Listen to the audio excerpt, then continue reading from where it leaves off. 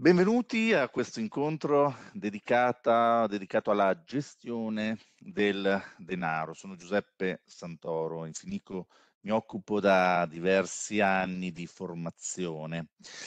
Allora, oggi parliamo di gestione dei risparmi facendo una premessa doverosa. Il rapporto con il denaro eh, per molti di noi è un aspetto un po' controverso.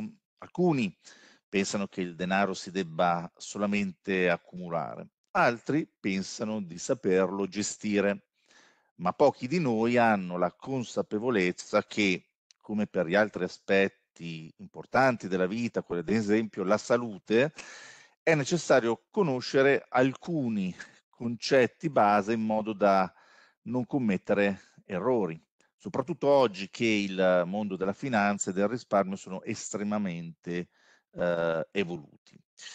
Da qui la necessità di avere delle basi per poter affrontare la complessità dei mercati finanziari in modo consapevole. Ecco, l'obiettivo di questo intervento è proprio questo, dare alcuni suggerimenti pratici per riflettere su cosa serve il denaro che accumuliamo e come gestirlo in modo adeguato. Ecco i temi che andremo uh, a trattare. Allora, parleremo di metodo, parleremo quindi dell'approccio che ci aiuta a capire a cosa ci serve il denaro in modo strategico, cioè con una visione di lungo periodo. Gli addetti ai lavori parlano di pianificazione finanziaria, ma in fondo sarebbe più comprensibile e più semplice parlare di cura, cura sia eh, di, di, di sé, ma anche dei propri cari, attraverso la cura dei propri risparmi, se ci sono naturalmente, e più in generale delle proprie entrate. E eh, attenzione, paradossalmente, ma è facile anche intuirlo, più le entrate e i risparmi sono limitati e più cura bisogna averne. Analizzeremo quindi i passaggi di questa pianificazione finanziaria, che sono identificazione delle esigenze reali, trasformazione di queste esigenze in obiettivi finanziari. Poi parleremo di orizzonte temporale, che non è unico, ma si riferisce a singoli obiettivi. Poi parleremo di un altro aspetto fondamentale, il profilo di rischio, che è una sorta di autovalutazione emotiva per capire come eh, sentirci eh, nel momento in cui eh, ho eh, messo i miei soldi su mercati eh, che possono essere più o meno rischiosi. Infine, la scelta degli strumenti finanziari che eh, il mercato mette a disposizione. Fondamentale è che questa scelta deve essere coerente rispetto a tutti i passaggi della pianificazione eh, finanziaria. Bene, allora, eh, ecco qua, voi nella slide vedete subito visualizzato il metodo della pianificazione finanziaria in un percorso a tappe che eh, ci aiuta a risparmiare correttamente e investire con metodo sono delle tappe che bisogna seguire in modo coerente, eh, non si può passare subito alla scelta degli strumenti senza aver fatto le tappe precedenti perché si rischierebbe di sbagliare proprio lo, lo, lo strumento finanziario poi da, uh, da utilizzare per i nostri investimenti. Cominciamo il percorso della pianificazione finanziaria che, come detto, ha l'obiettivo di ricercare la coerenza eh, eh, tra le esigenze personali da un lato e la struttura del patrimonio per soddisfare quelle esigenze. Ed ecco, iniziamo con la prima tappa. Parliamo quindi di esigenze reali. Cosa sono le esigenze reali? Approfondiamo un po'. Abbiamo detto che la corretta gestione del denaro deve essere fatta con metodo che chiamiamo appunto pianificazione finanziaria. L'utilizzo di questo metodo della pianificazione ci aiuta a definire gli obiettivi di vita e cercare di individuare gli strumenti per raggiungerli. Se però rimanessi a questo livello resteremo un po' troppo teorici. Ad esempio, vi descrivo, giusto per essere concreti, i miei obiettivi personali.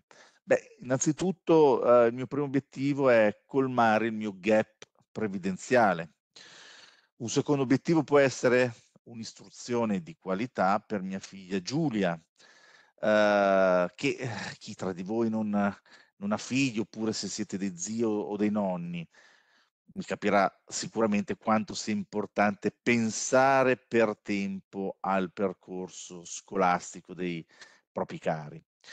E eh, nella nostra famiglia eh, è stato importante sapere che nostra figlia potrà frequentare l'università che vorrà in base alle sue aspirazioni, oppure che potremo sostenerla per avviare magari una sua attività professionale ed è stato importante averlo pianificato diversi anni fa. Quindi c'è già accumulato per questa sua uh, aspirazione, sia di studio che di attività professionale, uh, in realtà vi posso già dire che è di studio, quindi andrà uh, a fare l'università, ma diciamo che il, il finanziamento, diciamo, le, le, le, sostanze, la provvista in termine molto bancario per far eh, conseguire una laurea anche in, un anche in una facoltà, in, in un'università importante, è già stata costruita per tempo attraverso gli investimenti giusti. E poi, eh, ma non per importanza, c'è Uh, posso, ci possono essere anche altri, uh, altre esigenze da dover soddisfare, Esem esempio l'acquisto della propria prima casa oppure il suo ampliamento perché incominciano a nascere anche eh, i, i bimbi, oppure magari essere in un momento in cui si vuole aiutare uno dei figli ad acquistare la sua casa. Ecco, queste sono tutte esigenze eh, che guidano, devono guidare il nostro percorso di pianificazione finanziaria. Ecco, è fondamentale fermarsi e ragionare realmente su come ci immaginiamo il nostro futuro, cosa veramente ci manca e cosa vogliamo raggiungere. Approfondiamo ulteriormente questa tematica delle esigenze eh, reali. Allora, se chiedessi ad un trentenne di riflettere sulle esigenze di vita, mi direbbe quasi sicuramente cose diverse rispetto a un cinquantenne poiché il primo, cioè il trentenne, è in piena fase di accumulo, con uno spettro di esigenze che va dall'auto nuova alle vacanze, alla possibilità di comprarsi una casa per diventare indipendenti. Il cinquantenne invece è in una fase che definiamo di conservazione, tale per cui ha come obiettivi solitamente lo studio dei figli, piuttosto che una casa magari sempre per i figli, oppure una casa più grande per se stesso. Tutto corretto e tutto vero, ma in realtà molto spesso si ragiona con una certa miopia, pensando che gli obiettivi di vita siano quelli di cui si ha immediata percezione e c'è difficile proiettarci in un periodo molto più lontano da quello che stiamo vivendo in questo momento. Sembra strano a dirlo, ma sia per il trentenne che eh, per il cinquantenne, uno dei veri obiettivi di vita è quello poi di mantenere un livello di benessere una volta andati in pensione. Allora, il consiglio per riuscire ad individuare con più lungimiranza i propri obiettivi è quello, per esempio, di guardare gli stili di vita e le necessità delle persone più anziane vicino a noi. Beh, prima di tutto i genitori, se si ha ancora la fortuna di averli. E quindi, ad esempio, è fondamentale ritrovarsi un reddito che permetta le cure migliori, l'assistenza più adeguata, in poche parole, poter vivere bene la fase post-lavorativa. Ok? Quindi esigenze, mi raccomando, è vero, ognuno ha la propria percezione, ma non, do non dobbiamo essere miopi, guardiamo sempre a livello di medio-lungo periodo e in questo caso ci può essere veramente di aiuto osservare chi ci sta vicino ed è più avanti di noi nel suo percorso di vita. Passiamo ora ad un altro aspetto importante dell'analisi delle esigenze. Allora, abbiamo detto che ognuno di noi può avere tanti sogni, o meglio, tante esigenze da soddisfare, ma è altrettanto importante dare a questi sogni una priorità. Senza questo criterio, cioè il criterio di priorità, c'è il rischio di disperdere le forze economiche e mentali, inseguendo qualcosa che poi in realtà non era sicuramente al primo posto della nostra lista. Quindi individuarle è già un passo importante. Oltre ad averle individuate è altrettanto importante dare una priorità, un ordine, in modo tale da sapere quante energie fisiche, economiche, mentali dobbiamo dedicare correttamente a quella che abbiamo messo in prima alla nostra lista e di conseguenza a tutte le altre.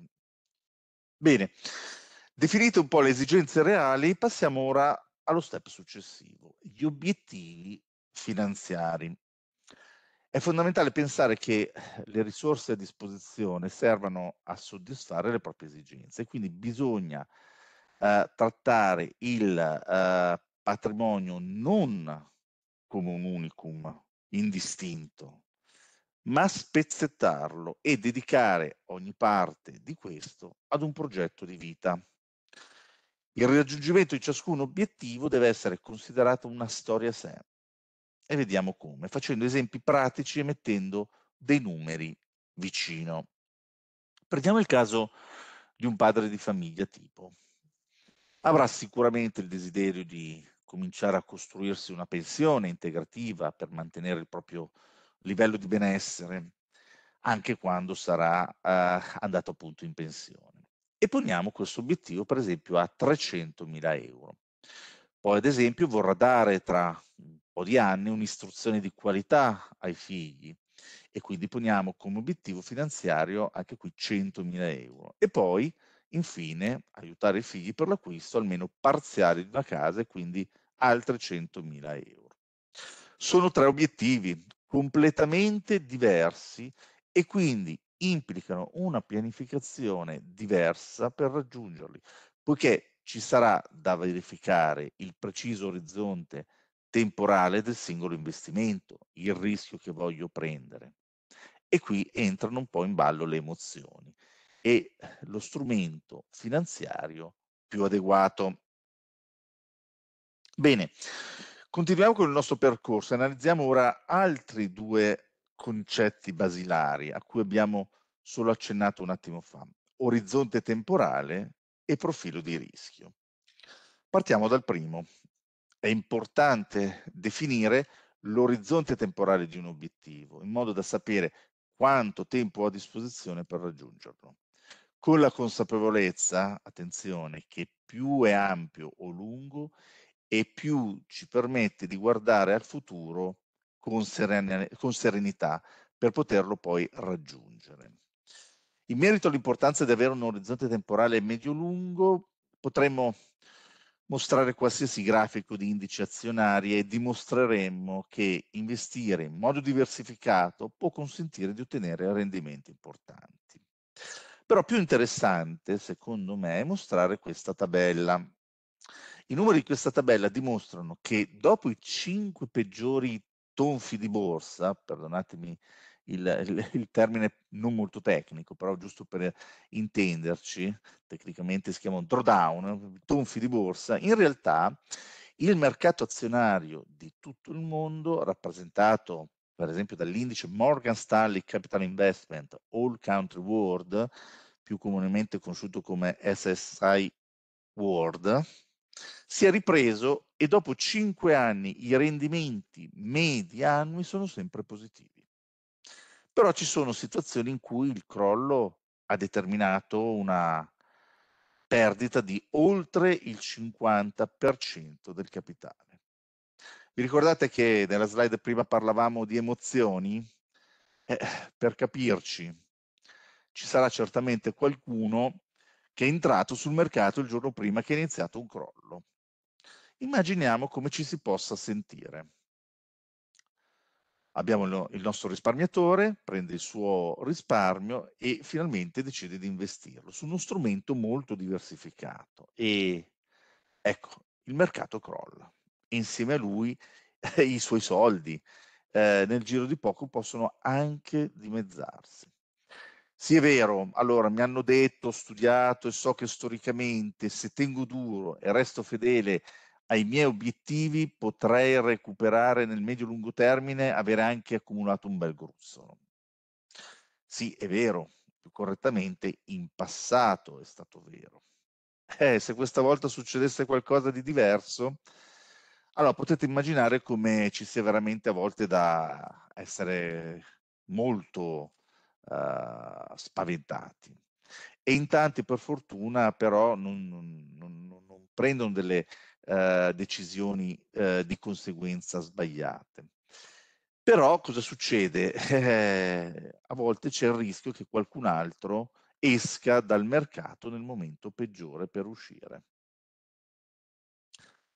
Allora, rimanendo nell'ambito delle emozioni, giusto per riprendere uno degli esempi personali condivisi prima, se il mio investimento è finalizzato alla futura casa, per esempio, di mio figlio, di fronte alle forti variazioni di mercato, per esempio, ricordiamo tutti quelli di febbraio 2020, quando c'è stata la pandemia, oppure anche eh, più recentemente con la, con la guerra in Ucraina. Allora, se guardo solo al mio portafoglio, rischio di disinvestire, di uscire sui minimi e perdermi magari il recupero che c'è stato già a partire da qualche mese successivo. Se invece vedo mia figlia e la sua bella casetta, proiettando nel futuro l'obiettivo, è più facile che rimanga investito e tenga fermi i, miei bollori di, eh, di vendita. Allora, passiamo adesso invece al secondo concetto di questo passaggio della pianificazione finanziaria, il profilo di rischio, ossia la misura della quantità di rischio che si dovrebbe assumere nei propri investimenti, considerando vari fattori come la situazione finanziaria e la propensione alle perdite.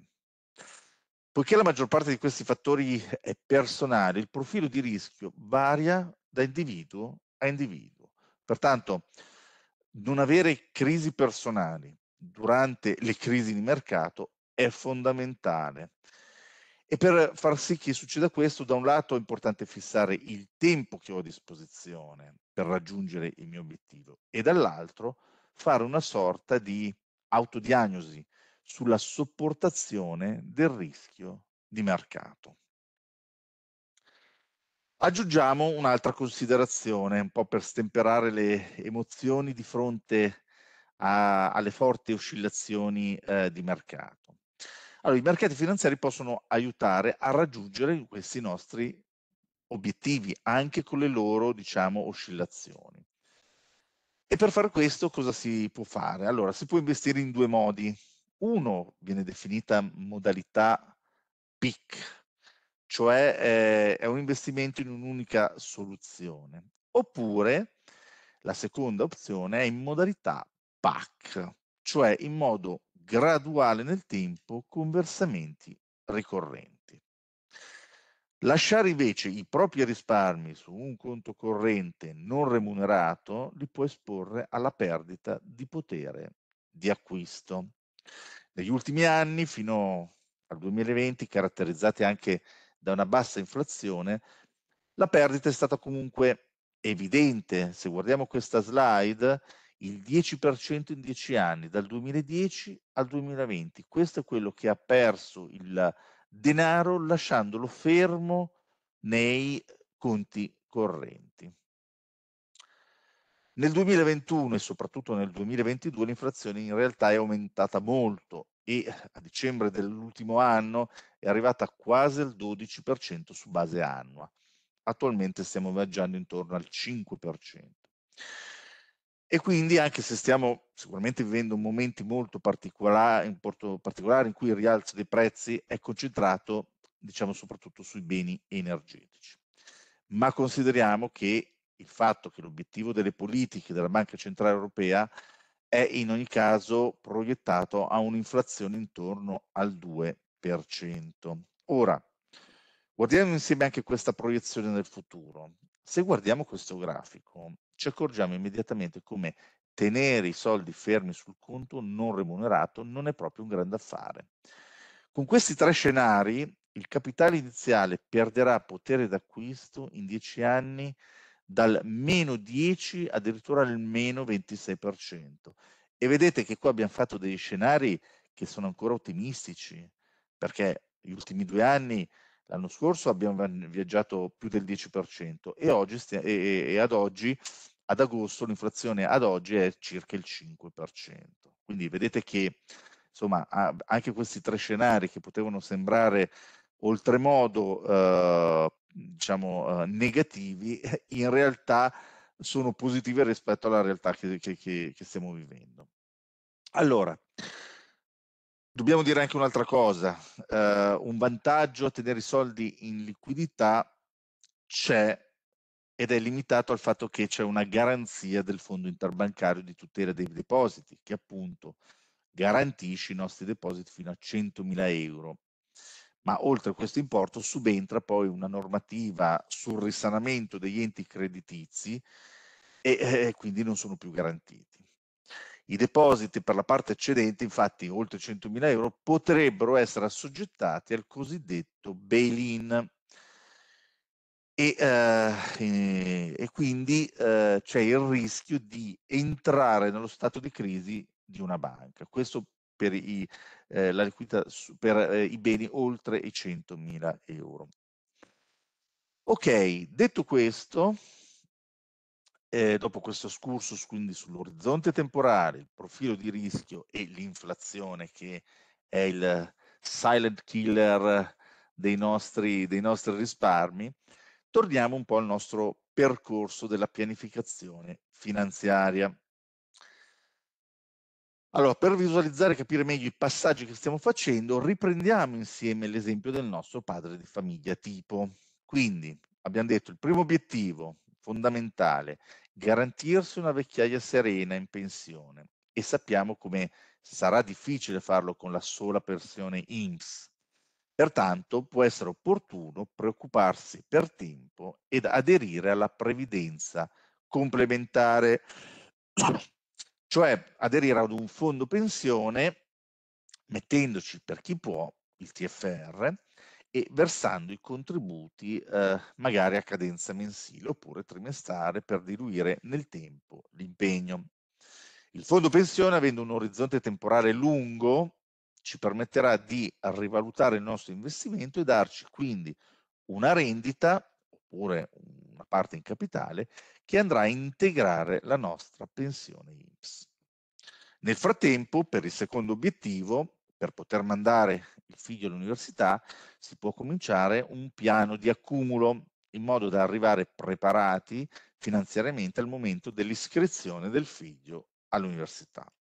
E infine, eh, il nostro padre di famiglia per comprare scusate mi sono distratto un attimo perché ho visto una domanda a cui voglio rispondere subito. Sì, in Fineco è possibile aderire a un fondo pensione. Eh, se uno apre la posizione in Fineco, un conto corrente in Fineco, c'è un'area previdenza complementare, il prodotto si chiama Core Pension ed è sottoscrivibile direttamente online e alimentabile direttamente dal conto corrente Fineco.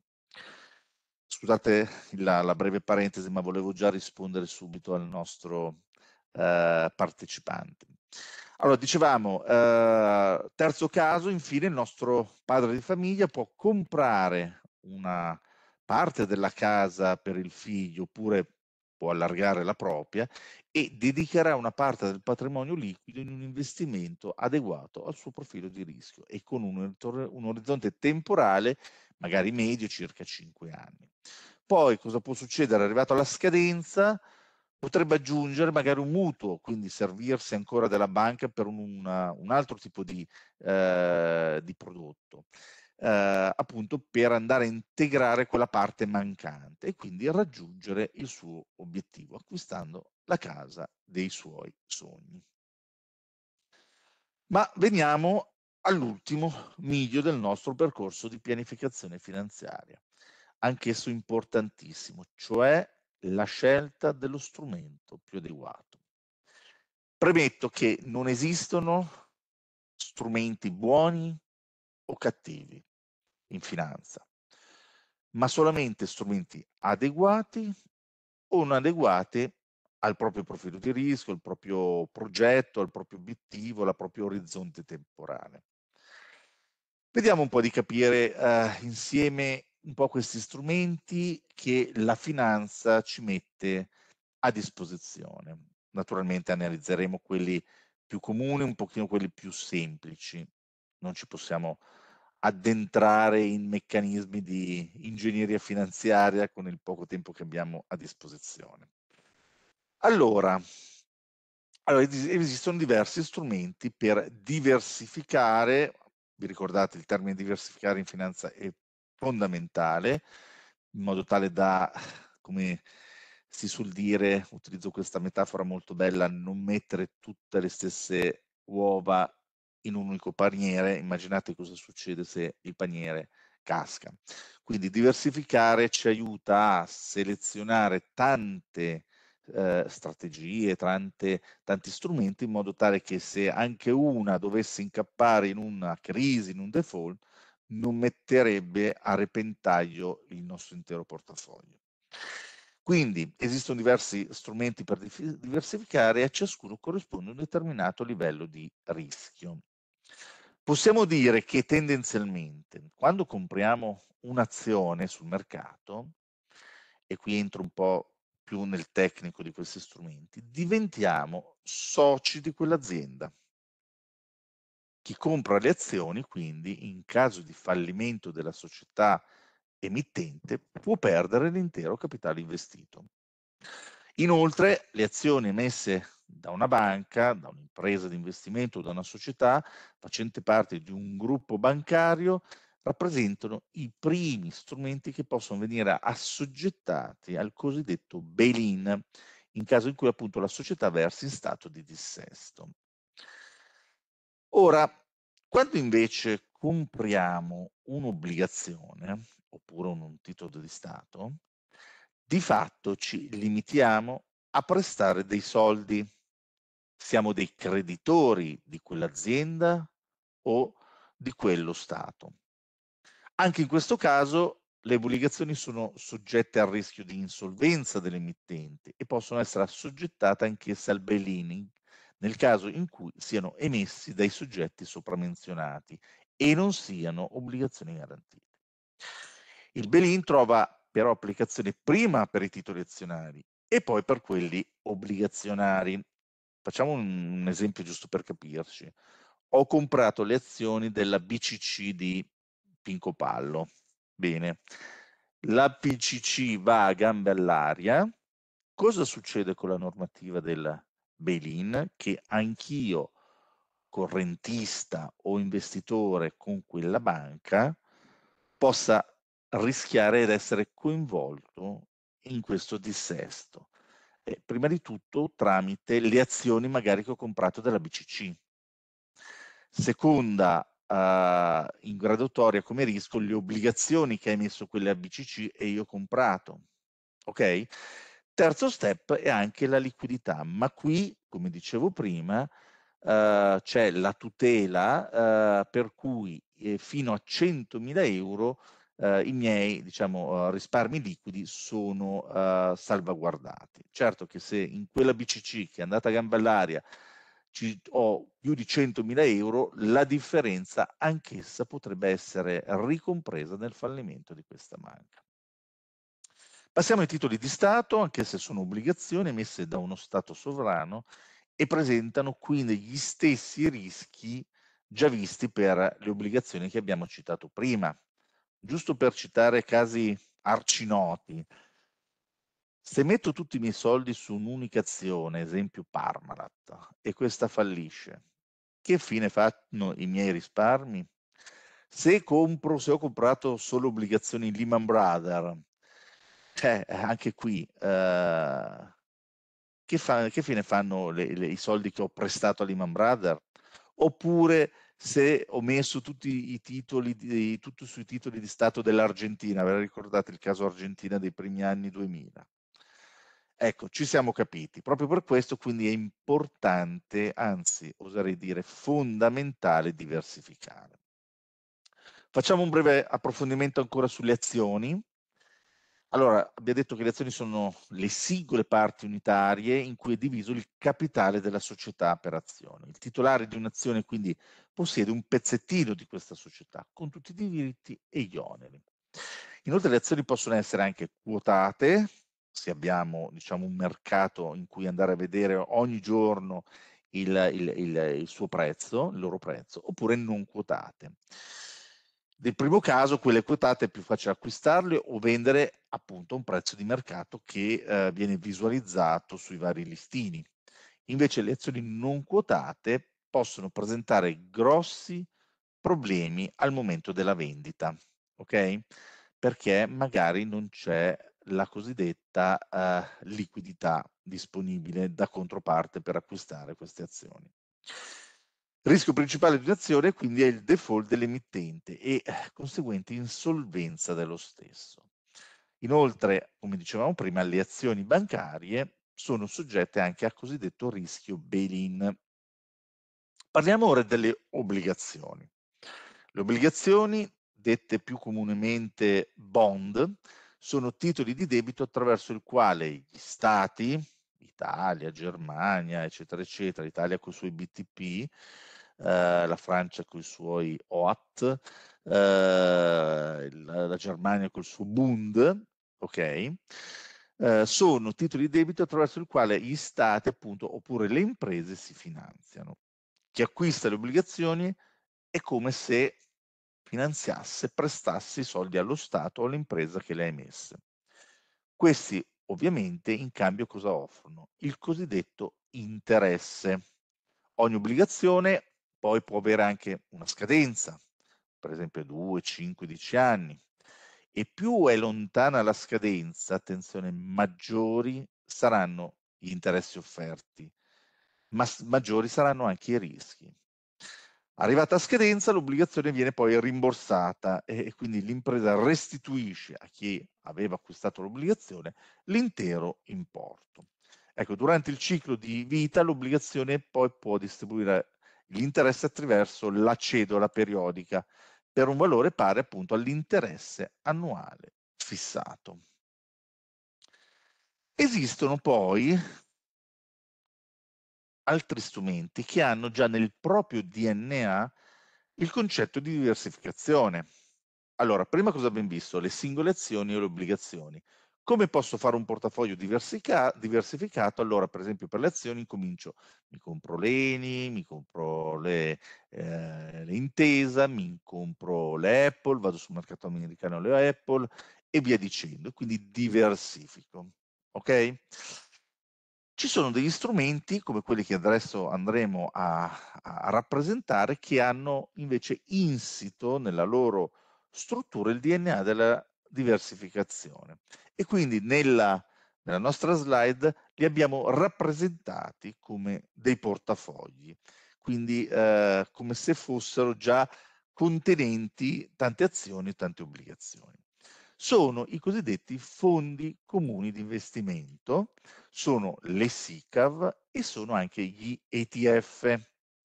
ETF, l'acronimo di quest'ultimo sta per Exchange Traded Funds, quindi sono sempre dei fondi che però hanno la possibilità di essere scambiati su un mercato regolamentato quasi come se fossero un'azione, un no? Cosa sono nel dettaglio questi fondi eh, e SICAV? Allora, eh, o meglio, scusate, cosa sono questi ETF? Sono un particolare tipo di fondo comune che ha come caratteristica però il concetto di gestione passiva. Ciò significa che il fondo si limita a replicare fedelmente un parametro, chiamatelo indice, chiamatelo benchmark, ma copia passivamente questo parametro. E questo parametro può essere azionario, obbligazionario oppure un monetario. Qual è il vantaggio di questo ETF? Beh, direi principalmente due. Primo, diversificazione, ne abbiamo già parlato, ma il secondo è veramente molto molto interessante, che è l'accessibilità. Quindi si possono investire importi anche piccoli, 1000 euro, addirittura anche 100 euro, e con un unico strumento, dicevamo, riusciamo a comprare migliaia di azioni, di obbligazioni o di titoli di Stato. Quindi, eh, molto molto utili. Poi, per completezza, nella slide abbiamo anche inserito, oltre all'ETF, il fondo comune e alle SICAV, anche il cosiddetto fondo di fondi. Che, che cos'è? Il fondo di fondi fa un pezzettino in più, perché il singolo fondo, invece di comprare titoli, cioè azioni e obbligazioni, compra a sua volta altri fondi. E quindi qual è il, prima, diciamo, grande, eh, il primo grande vantaggio? È quello relativo alla diversificazione. È come, passatemi il termine, se eh, si diversificasse al quadrato. Quindi il fondo di fondi ha come caratteristica ancora di più il tema della diversificazione. Entriamo un pochino più nel dettaglio di questi strumenti e vediamo un attimo i fondi. Allora, i fondi comuni di investimento abbiamo detto che sono strumenti di investimenti gestiti da una SGR, l'SGR è la Società di Gestione del Risparmio, che riuniscono le somme di più risparmiatori e le investono con un unico patrimonio in attività finanziarie, quindi azioni, obbligazioni, titoli di Stato, rispettando regole volte a ridurre il rischio. Allora, poi sono suddivisi questi fondi in tante parti unitarie che vengono definite quote, che vengono sottoscritte dal risparmiatore. E, attenzione, grande evidenza rispetto all'ETF, queste quote sono gestite e affidate a un team di esperti che si chiamano gestori. Ecco perché si parla di fondi, e lo vedremo anche poi per le SICAV, di, si parlerà di gestione attiva, cioè ci sono delle persone che tolgono e inseriscono diversi titoli proprio per dare una gestione attiva, per andare a cogliere le migliori opportunità sul mercato. Poi, intorno, eh, oltre alla, alla, forma appunto della, del fondo comune, la stessa attività di investimento può essere fatta anche da quella che viene definita società di investimento a capitale variabile, il cui acronimo è SICAV. E poi, come ho detto, gli ETF, e come eh, abbiamo detto poc'anzi, sono un particolare tipo di fondo comune, però caratterizzati dalla gestione passiva. Ciò significa che il fondo si limita a replicare fedelmente un indice, sia questo sia azionario, obbligazionario o monetario.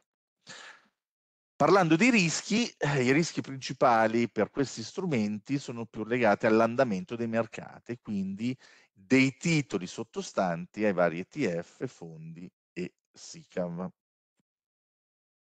E infine, infine, dato che l'abbiamo anche citato in qualche slide prima, vediamo cosa sono nel dettaglio e quali rischi comportano i fondi pensione. Il fondo pensione è un organismo di investimento collettivo del risparmio, che raccoglie i contributi di lavoratori, ma anche di non lav lavoratori, e li investe in strumenti finanziari, allo scopo poi di erogare una prestazione pensionistica, quindi una rendita o del capitale, al termine della vita lavorativa del lavoratore. Quindi cosa succede in un fondo? Che accumulo, io lavoro e intanto ho un fondo pensioni su cui accumulo dei soldi, quando andrò in pensione, andrò con la pensione pubblica, obbligatoria, cioè l'INPS, e poi potrò anche chiedere un'ulteriore prestazione pensionistica al mio fondo pensione, quindi lui erogherà una rendita o rendite capitale che si affiancherà alla pensione INPS affinché il mio tenore di vita, una volta che smetterò di lavorare, sia un tenore di vita più che accettabile. Su questo punto una brevissima riflessione. In passato i nostri genitori eh, non avevano questo problema perché soprattutto i dipendenti una volta che andavano in pensione si accorgevano che la prima pensione era molto simile all'ultimo stipendio. Ecco, questo non succederà più. Ahimè, eh, tutti noi, dalla mia generazione in poi, in poi voglio dire più giovani, eh, abbiamo una grande preoccupazione, quella di mantenere un livello dignitoso quando andremo in pensione. Perché dico questo? Perché la sola pensione INPS non sarà sufficiente a mantenere quel livello dignitoso, perché ci stanno prospettando, e basta andare sul sito dell'INPS a osservare il proprio tasso di sostituzione, uh, delle pensioni che saranno circa il 30, 40, 50% in meno rispetto all'ultimo stipendio. Chiudo la parentesi e per quanto riguarda i rischi, anche per quanto riguarda questo fondo pensione, è legato essenzialmente all'andamento dei mercati e degli strumenti in cui investe. Bene, riepiloghiamo un attimo a questo punto quello che ci siamo raccontati. Allora, abbiamo parlato di gestione del proprio denaro, non solo di accumulo, ma di poterlo gestire e per farlo la pianificazione, abbiamo detto, è il metodo che eh, ci permette di investire con oculatezza. Secondo passaggio, abbiamo guardato un po' questa pianificazione, questo metodo, metodo in che cosa consiste? Beh, il primo passaggio è fermarsi e individuare con attenzione le vere nostre esigenze, con occhio lungimirante. Poi abbiamo detto, un altro passaggio, una volta individuato le nostre esigenze, è trasformare queste singole esigenze in obiettivi finanziari, e cioè accostare un importo che si vuole raggiungere per realizzare questo nostro sogno. Per renderlo tangibile, individuare le soluzioni migliori per raggiungerlo. Altro passaggio importante che abbiamo fatto è l'orizzonte temporale e il profilo di rischio. Sono due elementi fondamentali che ci permettono poi di scegliere correttamente lo strumento migliore per raggiungere i miei obiettivi. E infine abbiamo visto, abbiamo fatto un rapido excursus dei principali strumenti a disposizione per i nostri investimenti, abbiamo parlato di azioni, obbligazioni, fondi, fondi di fondi e anche fondi pensione. E eh, queste sono alcune delle soluzioni che, possono, che possiamo utilizzare sempre in ottica di diversificazione. Bene, siamo arrivati alla conclusione di questo nostro eh, eh, diciamo webinar dedicato alla pianificazione finanziaria, alla cura dei nostri eh, soldi. Io eh, vi ringrazio per l'attenzione, se non l'avete ancora fatto magari date uno sguardo alle altre iniziative di, di formazione che proponiamo. Uh, questo nostro uh, incontro pomeridiano, questo nostro video uh, sarà presto disponibile sempre nell'area della formazione di Fineco. Grazie ancora e alla prossima.